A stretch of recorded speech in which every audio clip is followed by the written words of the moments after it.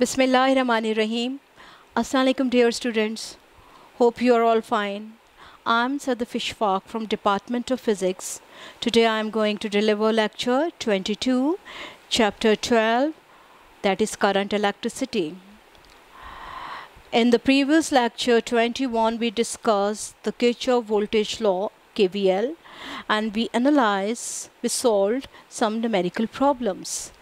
Today we are going to discuss Wheatstone bridge, potentiometer and we are going to analyze the numerical problem. First of all, we come to Wheatstone bridge. This bridge was first proposed by Wheatstone, an English telegraph engineer, for measuring accurately the value of unknown resistance. It consists of four resistors two fixed resistors P and Q which are known. One variable resistance R which is also known and one unknown resistance X whose value is to be found. This is the circuit diagram where there are four resistors P, Q, R and X. P and Q the resistance of these two resistance are known. X whose resistance is to be found and this is R which is a variable resistor means its resistance could be changed. Across one pair of opposite junctions A and C so you notice that how P, Q, R and X are connected. These are connected making a junction where there are two loops. This is first loop A, B, D, A. This is second loop B, C, D, A. Alright. And having uh, pairs of two junctions that is A and C. This is A and this is C. And we notice that a battery, this is the battery which is connected across A and C junction. Alright. And come to the other junction that is B and D. And B and D across that junction there is the galvanometer. This is the galvanometer. Just to measure the presence, just to check the presence of electric current. When galvanometer deflects, that shows the presence of electric current. Alright? The value of P and Q are properly fixed, as I told you earlier. When the key is switched on, this is the key, S1 is the key when it is closed, it means the circuit is switched on. When the circuit is switched on by closing the key S1, then what happens? The current I divide unequally between two branches and the galvanometer shows current. So obviously, uh, what happens? The current, it flows, it flows in this direction and here it passes at different branches unequally. The value of resistance R is varied until the galvanometer shows zero current. And what we do, as I told you, R is a variable resistor. We change its value. When we change the value, that changes the value of current. And the galvanometer, it deflects. We change the value of R just to get the null point of galvanometer. What is the null point of the galvanometer? The point where the galvanometer gives you zero reading. You have to vary the value of R till you get the zero current. Under such conditions, the bridge is said to be balanced. What does it mean? It doesn't mean that there is no current which is passing through the circuit.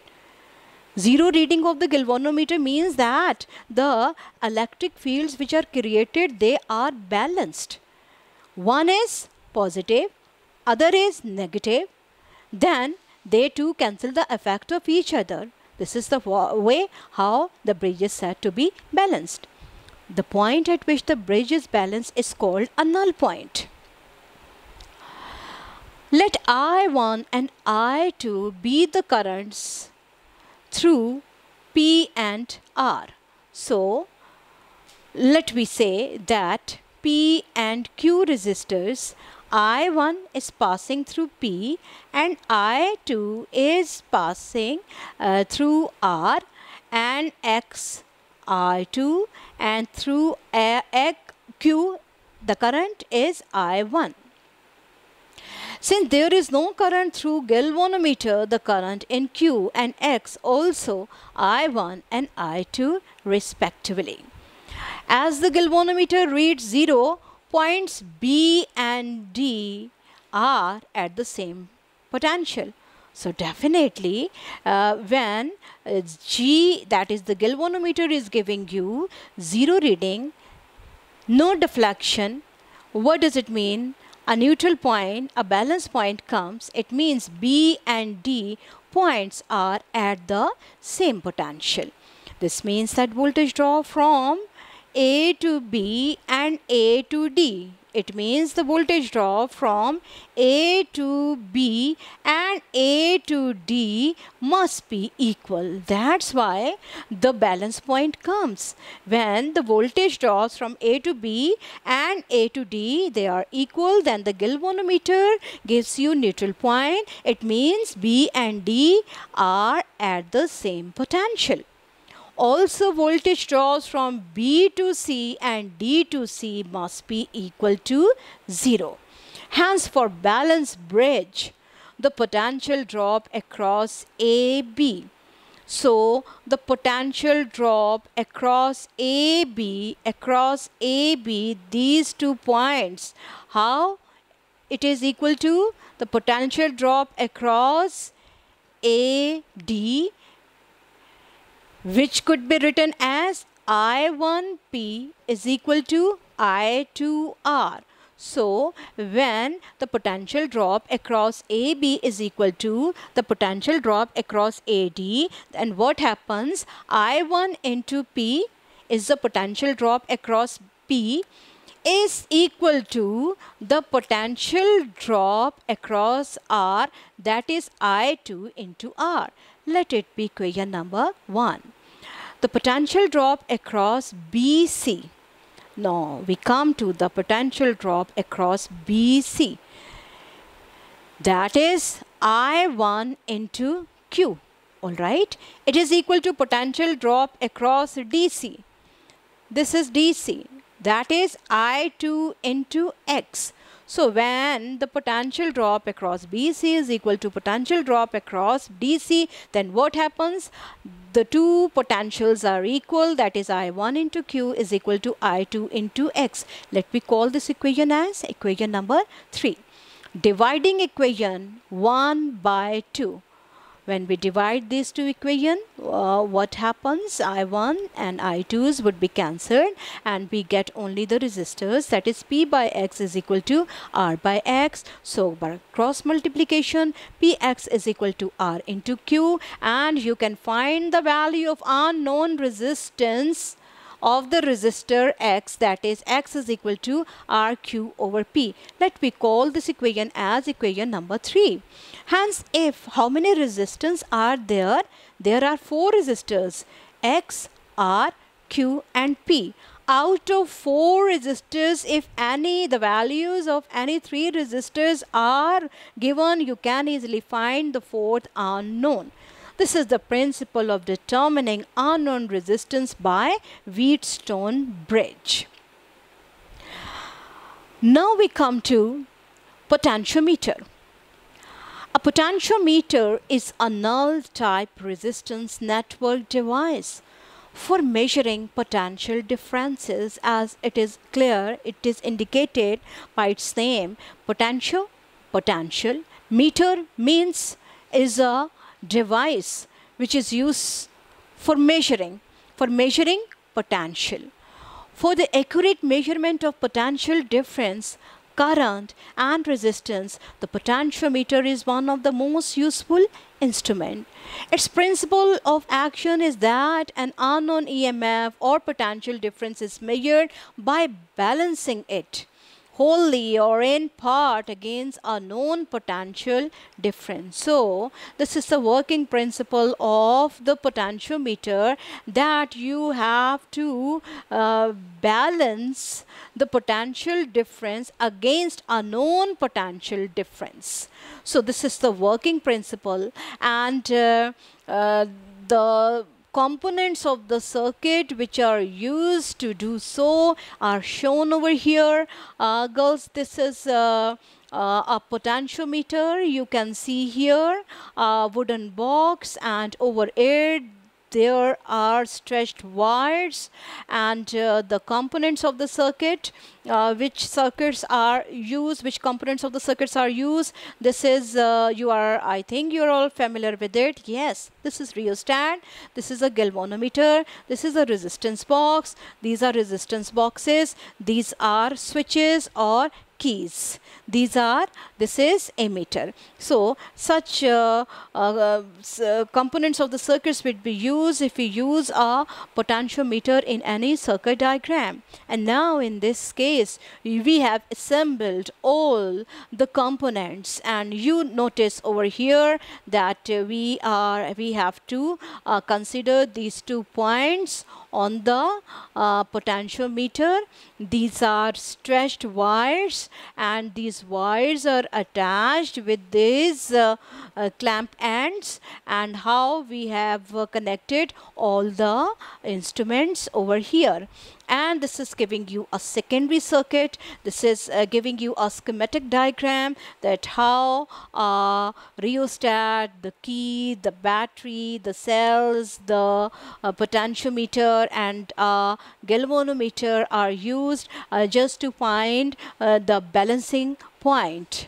In order to find the balancing point we have to consider the following circuit diagram. This is the circuit diagram the construction, a simplest potentiometer consists of wire LM. As I showed you the wire in the previous figure. So in this figure, this is giving you a wire that is LM, LM, this LM is a Y of uniform section stretched alongside a scale and connected across battery of voltage V as shown in the given figure. So LMY how it is connected the two ends of the wire LM how they are connected with the terminals of the battery providing V potential. A standard cell of known EMF epsilon 1 is connected between L and terminal 1. So uh, there is uh, a cell whose uh, uh, EMF is known that is epsilon 1 and this epsilon 1 is connected uh, between L and terminal 1 this is L and this is terminal 1 uh, of a two-way switch S. So this is giving you a two-way switch having three terminals 1 2 and 3 this one we are talking about.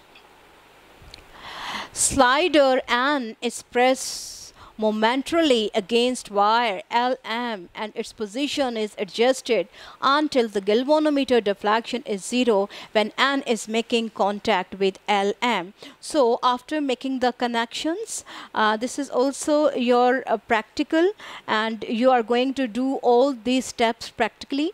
There are two practicals inshallah we are going to do it and uh, uh, what we have to do we have to find the uh, null point and uh, the null point will come uh, by considering a slider n and slider n as it is indicated uh, by the word slider.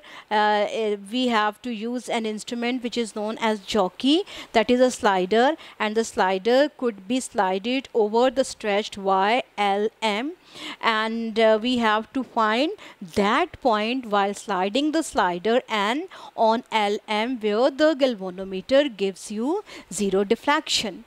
let I1 be the let L1 be the corresponding distance between L and N. So this is L and uh, suppose N is the point on the wire where the neutral points come and the distance Ln is giving you L1.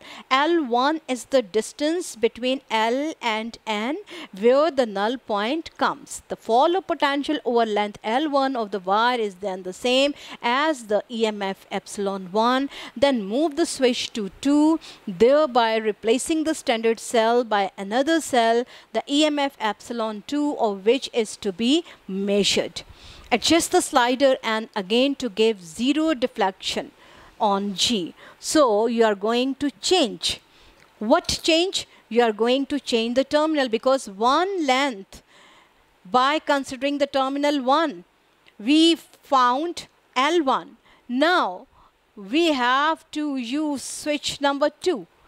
By using this switch you will introduce you introduce epsilon 2 and when you introduce epsilon 2 the point which gives you zero reading on the galvanometer is giving you L2 so L2 is giving you that length which comes when second null point comes when we consider point number 2 all right? So we have to use this equation that is uh, uh, this equation that is epsilon 2 over epsilon 1 is equal to L2 over L1. This is the equation of uh, potentiometer and you notice that there are uh, four uh, variables epsilon 1, epsilon 2, I1, I2 out of uh, out of uh, 4 if any 3 are given you can find the fourth known. Similarly, this equation uh, may be used to make a comparison between the two cells.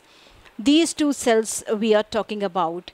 This is two cells, epsilon 1 and epsilon 2 and if you want to compare the EMF of two cells then you can make use of this equation epsilon 2 over epsilon 1 you will put the value of uh, L2 which gives you null point L1 which gives you a null point and in this way you can make a comparison of the EMF of the two cells having EMFs epsilon 1 and epsilon 2.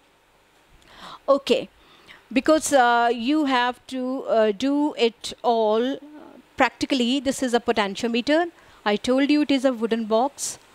Wooden, this is the potentiometer a potential meter, as the name suggests, is an instrument to measure the potential potentials. The construction, in the construction, here are two wires, one, two, three, four, four wires of length 100 centimeter each. Here is a scale. Yes, four wires, one, two, three, and four. It's a thick copper wire having terminals A and B. All right. It means what would be the total length? 400 centimeter. Instrument, battery, rheostat, ammeter, key, galvanometer, and a jockey. Jockey here is a slider and I told you that is slided. This jockey could be slided over it. The two terminals A and B on the potentiometer. Okay as we connect the circuit diagram, a current flows through a wire of uniform thickness and same composition. Potential difference between its two points is directly proportional to length. That is V is proportional to L. V is equal to K into L, where K is the constant of proportionality which is called potential gradient. So this equation we are going to use. This is the principle that as I told you V is proportional to L. So when what happens when we plot a graph, a straight line, it comes. This is the principle that V is proportional to L. When V is proportional to L, we get here V by L is equal to constant. Comparison of two cells, as I told you, epsilon 2 over epsilon 1 is equal to L2 over L1. So this figure you are going to use you will make the connections. Following are the applications of potentiometer. It is used to measure for the measurement of small, power, uh, small EMF up to 2 volts. Comparison of two cells. Measurement of high EMF say to 50 volts. Measurement of resistance. Measurement of current. Calibration of ammeter and calibration of voltmeter. Example 12.19 using a Weston cadmium cell of 1.0183 volts and a standard resistance of 0.1 ohms, a potentiometer was adjusted so that 1.0183 meter was equivalent to the EMF of the cell. When a certain direct current was flowing through the standard resistance, the voltage across it corresponds to 150 centimeter. What was the value of current? This was the statement of example 12.19. Okay, solution, data given. In the data given, definitely you will write down this. This is giving you EMF of the cell, that is epsilon. It is equal to 1.0183 volts. Length of the wire, that is 1.083 meter. Right, this other wire, uh, the other length is also given. So this is L1 and this would be L2. It is 150 centimeter definitely. You have to convert it into meter. By dividing it 100 what comes? 1.5 meter. And resistance R is also given that is 0.2 ohms. And what we have to find? We have to find the EMF of other cell that is epsilon 2 is to be calculated and the value of the current.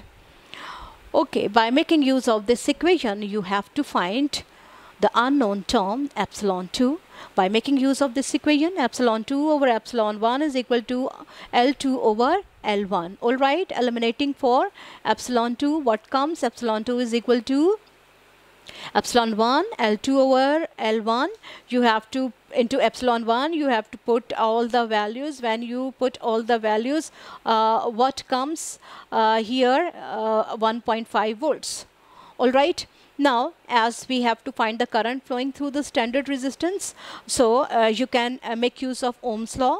Ohm's law is equal to V is equal to IR all right? And uh, v is equal to ir means uh, you can write down here epsilon 2 is equal to i into r. You will replace v uh, you will replace uh, v by epsilon 2 all right? So eliminating uh, for uh, i uh, we have to find i what comes uh, here. Epsilon uh, 2 over r is equal to 1.5 over 0.1 what comes? 15 ampere. This is the answer. Thank you girls